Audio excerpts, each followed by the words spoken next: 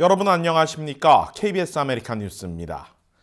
미국과 중국의 무역 갈등이 갈수록 심화되고 있는 가운데 중국과 거래하는 한인 업체들까지 비상이 걸리면서 LA 총영사관이 긴급 대응에 나섰습니다. 자세한 소식 이우수 기자가 보도합니다.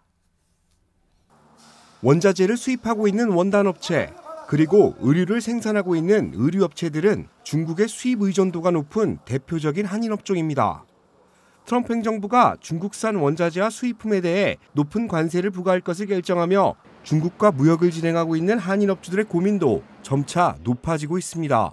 인상되는 부분들이 어, 현실적으로 어, 손님들이 어, 이해해주지 않는 부분이 가장 어려울 것이라고 생각합니다. 다른 대비책은 좀 있어야 될 것 같습니다. 중국이 아닌 다른 나라의 생산지를 많은 분들이 그래서 베트남이나 다른 데 3국으로 지금 생각하고 계십니다.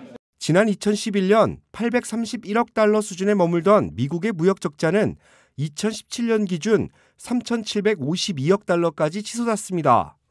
트럼프 행정부는 중국산 수입품에 대해 25%의 관세를 부과하고 있습니다.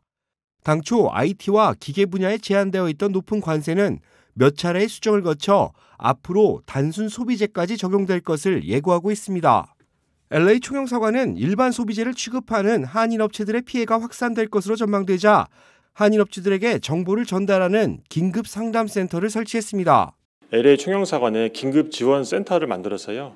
언제든지 연락하시면 저희 어, 총영사관에 지정된 공익관세사 8분을 통해서 어, 즉시 상담을 해드리고요.